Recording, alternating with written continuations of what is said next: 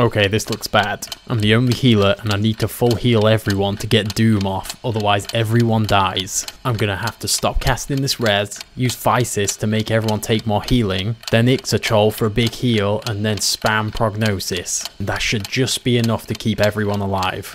Alright, cool, let's do it! Oh, no.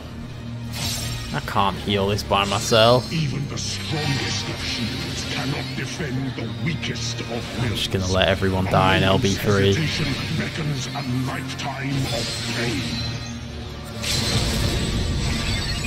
I'm the hero, I've saved the day. Great job.